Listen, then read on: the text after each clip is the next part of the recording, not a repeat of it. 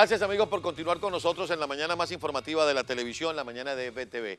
Antes de darle la bienvenida a mi invitada en esta parte del programa, tengo que compartir con ustedes una información que me llega de la cuenta Twitter del periodista Casto Ocando. Y dice que agentes federales detuvieron en Miami a tres agentes del SEBIN que espiaban a opositores en esta ciudad. Uno de ellos tenía unos pasajes para ir a Nueva York. Le decomisaron celulares con fotos de eventos de la organización BPEX, que es la Asociación de Venezolanos Perseguidos Políticos en el Exilio, entre otras agrupaciones de venezolanos. Los tres ya fueron deportados. Esto sí no lo dice el SEBIN.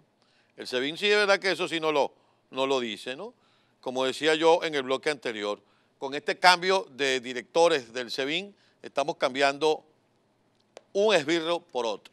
Amigos, lo dijimos la semana pasada, lo orgullosos que nos sentimos de la mujer venezolana y decíamos que un buen ejemplo de esa valentía de la mujer venezolana, de ese arrojo, de esa firmeza de nuestras mujeres es María Corina Machado y ella me invitaba a esta hora en el programa. La tienen ustedes ya en pantalla de EBTV y lo decíamos con la boca grande, con el corazón lleno de orgullo, porque vimos cómo fue atacada, pero después, ese mismo día, vimos cómo dijo, a pesar de todo nos vemos en la churuata y la churuata estaba a reventar porque la gente perdió el miedo. Esa fue mi conclusión, pero dejemos que sea la propia María Corina quien nos lo diga.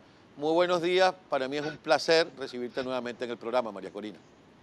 Carlos, agradecida te estoy yo y, y todos los venezolanos, tus compatriotas aquí por cómo te has convertido en una voz que proyecta al mundo no solamente el horror de la narcotiranía, sino el valor, la dignidad, la fuerza, la organización, las ganas de, luchar y de reconstruir el país que hay, como lo ocurrido la semana pasada, el miércoles allá en Upata. Mira, ¿qué te puedo decir? ¿Por dónde arranco? Mucha gente me, me alertó, me advirtió que no fuéramos a Upata. Upata es el epicentro de, de, la mafia en Venezuela. Como sabemos, allí están las actividades de extracción ilegal y, tráfico de oro, de coltán, de diamantes. Es un territorio inmenso que ha sido progresivamente controlado no solamente por estas bandas criminales, el pranato de, que, que, allí se ha instalado eh, sacando el oro y haciendo enormes fortunas, sino que ahora está siendo penetrado desde hace ya varios años, como hemos advertido, por la guerrilla del ELN y los grupos no desmovilizados de la FARC. Eso es tierra de nadie, Carlos. Allí están asesinando venezolanos todos los días. Algunos tenemos noticias, se denuncian y otros no. Y es, es como te digo, ese es territorio de la mafia. Y me decían gente, ¿cómo vas a ir para allá? Porque ese es un territorio que ni el ejército eh, formalmente cuida y ejerce la soberanía. Y, y mi respuesta es, si este régimen y el ejército han permitido que, que se entregar territorio venezolano al crimen organizado, nosotros no podemos, nosotros no podemos simplemente olvidarnos de una sola persona, de un solo venezolano que esté viviendo en estas zonas. Por el contrario, hay que ir y decirle a cada venezolano, a cada familia, que no están solos, que hay que hablar duro, que hay que organizarse para protegerse en la base y que el mundo finalmente entienda lo que está ocurriendo en el país que no se trata de una dictadura más, sino un régimen criminal. Por eso fuimos y, a mí me emocionó enormemente encontrarme cientos, cientos de venezolanos, como tú relatas, allí en la calle Vargas de Upata. Caminamos muchas cuadras, se nos sumaban viejitos, niños, comerciantes, amas de casa. Bueno, hasta que llegamos a la Plaza Bolívar, donde nos estaban esperando unas 80 personas armadas y violentas como nunca yo había visto, Carlos, como nunca había visto.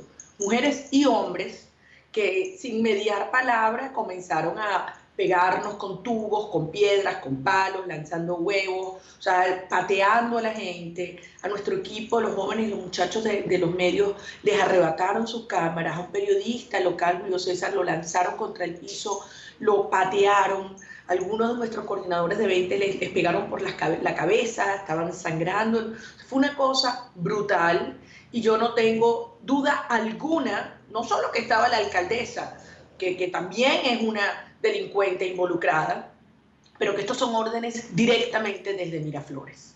Sí, sí, no hay, no hay, no hay duda ninguna. María Corina, días antes lo había reafirmado y lo había alertado el presidente Pastrana. El presidente Pastrana y el régimen de Venezuela quiere matar, quiere eliminar físicamente a María Corina Machado. Ahora, María Corina, sí, celebramos que la gente perdió el miedo y a pesar de, esa, de ese evento que nos acabas de detallar, la gente te acompañó en la churuata. Pero ahora resulta que hay movimientos en el SEBIN. Eh, ya sabemos lo que pasó con el concejal Albán. Eh, yo estuve conversando la semana pasada en una conversación muy emotiva con mi amigo Lorenzo Ale y relataba lo que estaba pasando dentro del SEBIN. Y, y ahora digo, ¿a qué punto estamos llegando? Yo, oigo lo que pasó en España ayer, donde el Congreso español le pide a Pedro Sánchez que se una a la demanda de la Corte Penal Internacional, las gestiones del presidente Duque. Te lo, te lo resumo, pero no me gustan las preguntas largas. La comunidad internacional está lista. Y adentro María Corina y su gente está lista. ¿Qué más falta, María Corina? Sí, yo, yo creo que esa, esa, me encanta que utilices esa, esa, esa palabra, ese adjetivo, sí. Venezuela está lista, eh, y, fuerte. La comunidad internacional está fuerte, cohesionada y lista. Y honestamente yo, yo, yo creo que, que el país finalmente y la comunidad internacional entendió que a la medida que este régimen está más débil y cada día está más débil, también cada día es más cruel. Y no podemos eh, hablar de, de, fórmulas mágicas o, o, decir que esto es sencillo o fácil. No lo es, Carlos. Por, por la, propia eh, punto de partida, premisa de partida. O sea, este régimen es una estructura criminal, ni siquiera una dictadura. Al frente hay un grupo de individuos que son psicópatas, por lo tanto ellos no entienden de razones, no les importa que no más del 90% del país los deteste. No les importa que se mueran los niños porque no hay oxígeno en los hospitales, porque no hay comida o se nos desplomen los viejitos en las colas para cobrar pensiones de hambre. No solo no les importa, que eso es lo que ellos han buscado. Han buscado que millones de venezolanos huyan por nuestras fronteras. Eso es lo que quieren. Entonces este es un momento en el cual hay que tener mucha, mucha conciencia de que aquí hay una estrategia inteligente que hay que cumplir de manera disciplinada que implica la aplicación de toda la fuerza adentro y afuera de, los venezolanos civiles y militares, de la Policía Internacional, de los mercados, en, los términos que tú lo has descrito, la comunidad internacional fijando una posición cada vez más firme, pero una cosa igualmente importante, no podemos permitir ninguna maniobra, ninguna operación oscura que le baje presión, que sea una válvula de escape como han hecho en el pasado. Cada vez que sienten que las presiones crecen para llevar a Maduro a ese punto de quiebre donde le resulta más costoso quedarse que irse y donde puede darse una verdadera negociación para su salida, aparecen agentes de la tiranía externos como el señor Zapatero y algunos internos que le hacen el juego y que hacen que esa presión baje.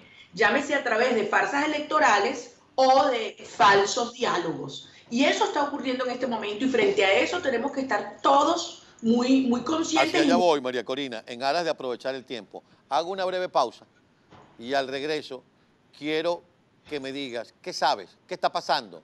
¿Quién se está poniendo a sentarse en una mesa preparando un diálogo que sabemos que no va a llevar a ningún lado más que darle oxígeno al gobierno? Vamos a, a analizar eso, porque sí, cuando uno lee últimas noticias, en última noticia, comienza como a dictar línea. Sectores de la oposición estarían proclives al diálogo, etcétera, etcétera. Al regreso con María Corina Machado, que es nuestra invitada en esta parte del programa. No se vayan. Esta es la mañana más informativa de la televisión, la mañana de EBTV. Ya venimos.